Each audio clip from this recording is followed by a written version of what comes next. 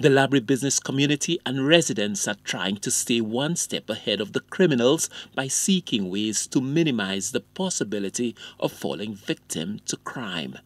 Sergeant Silvino James of the Laborie Police Station was the facilitator of a special program aimed at providing businesses and households with a hands-on approach to better protect their homes and businesses from criminals we are preparing for the festive season and as of anything else we have realized over the years that during this period we have higher reports of robberies, burglaries, traffic accidents.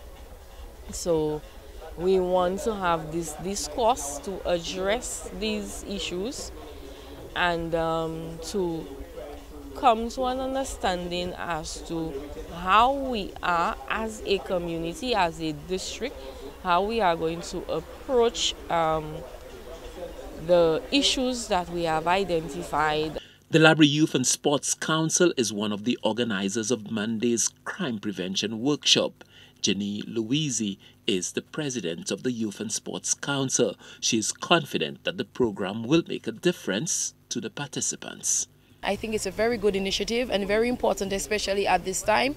Um, to those who are not aware, on Saturday we had an incident at one of our businesses, and thankfully, um, a passing um, police officer saw it in action and acted promptly, and we were able to um, to get one of the the perpetrators. So I'm very pleased to be or to be part of such an initiative and to be present to learn different ways of curbing situations like that, especially not only as a business owner but as a homeowner as well. And I think everybody in the community and also island-wide can learn from this and need to be educated on this because especially as we're coming to a season of the, the festive season, um, this right here, that type of information is very, very important.